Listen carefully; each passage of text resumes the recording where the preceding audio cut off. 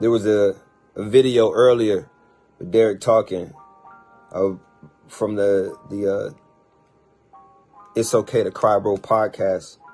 The question that was asked to Derek was if men change in a relationship, and Derek gave a great example of how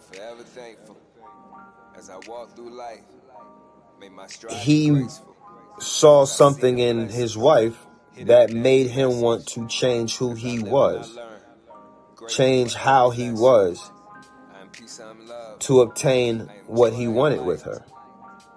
And that's a perfect example of when you declare something of value, you will do what is needed to keep it in that condition. You will do what is needed to, uh, you will water it and give it what it needs to grow. You will be instrumental in its, and providing it whatever it needs to make it better. You know, that's what love does. Love is always willing to put in the effort that's required to turn good into great and keep it in that condition. So, this works all the way around though.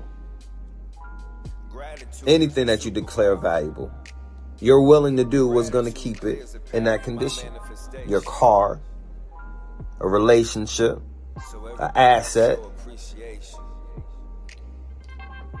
Deem yourself, deem the, your energy, deem the God within you, deem your purpose so valuable that you're willing to do the things that are required to keep it in, in its best condition.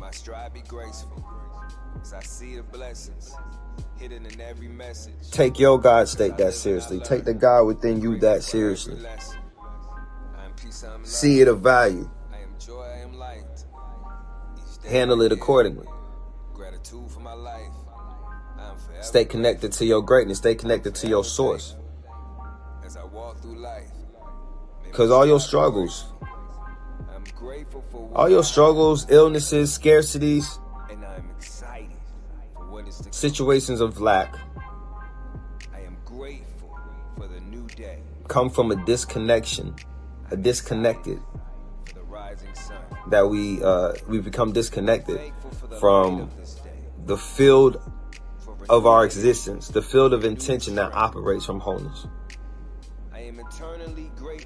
So move from from a place of wholeness and watch how things change. I keep telling you, be the thermostat, not the temperature. All right?